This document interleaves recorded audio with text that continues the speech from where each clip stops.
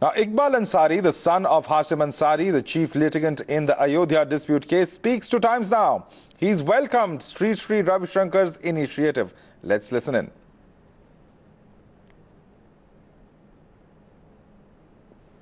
Iqbal Ansari, who's the son of Hashim Ansari, the chief litigant uh, in the Ayodhya dispute case, is with us. Let's speak to him and find out if he's actually hopeful and positive about this new initiative being taken by uh, spiritual guru Sri Sri Ravi Shankar.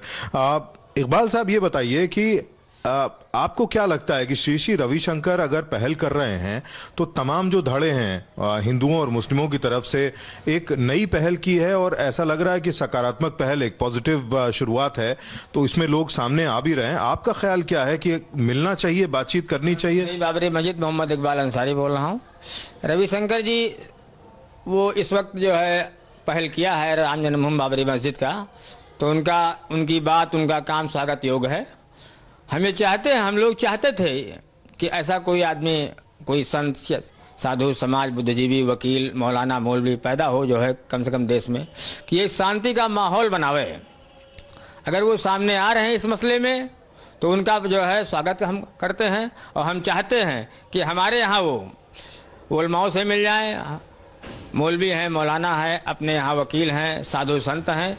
ये लोगों को बुला लें, क्योंकि ये इतना highlight हो जो है, हो चुका है पूरी दुनिया में जो है, इसका नाम, बाबरी मस्जिद का नाम रोशन है, और राम जन्मभूमि का। तो जब तक इसमें जो है दस, बीस लोग, पचास लोग नहीं मिलेंगे तो ये फैसला या कोई बातचीत मतलब आगे नहीं बढ़ेगी। अगर वो आगे बढ़ रहे हैं तो सामने आवे, और हमारे यहाँ लोगों से मिलें, अपने यहाँ लोगों से मिलें, और जो है उसकी बात करें, हमें चाहते हैं। कि ये झगड़ा खत्म हो, ये राजनीति खत्म हो, क्योंकि लोग धर्म के नाम पे तरह तरह की राजनीति करते हैं। जब भी इलेक्शन आता है तो लोग भगवान का नाम लेते हैं, उससे पहले भूल जाते हैं।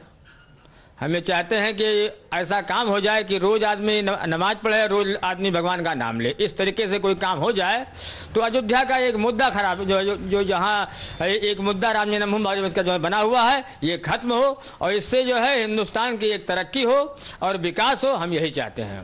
ठीक है बिल्कुल पॉलिटिक्स नहीं होनी चाहिए इस नाम पर लेकिन पहली बार एक लग रहा है अच्छी शुरुआत की है श्री श्री रविशंकर ने जहाँ दोनों तरफ़ के लोग मिल बैठकर बातचीत करने के लिए तैयार हैं और खासतौर से हिंदुओं की तरफ़ से तो साफ़ तौर पर यह कहा जा रहा है, एक बड़े धड़े की तरफ़ से कहा जा रहा है कि हाँ हम तैयार हैं कि मध्यस्थता श्री श्री रविशंकर करें और हम बातचीत के लिए तैयार हैं। लेकिन सुन्नी मुसलमानों में एक बड़ा तबका ऐसा है जो अभी भी इसको शक की निगाह से देख रहा है, जबकि शिया मुसलमान इसके लिए तैयार है कि मस्जिद कहीं और बना दी जाए।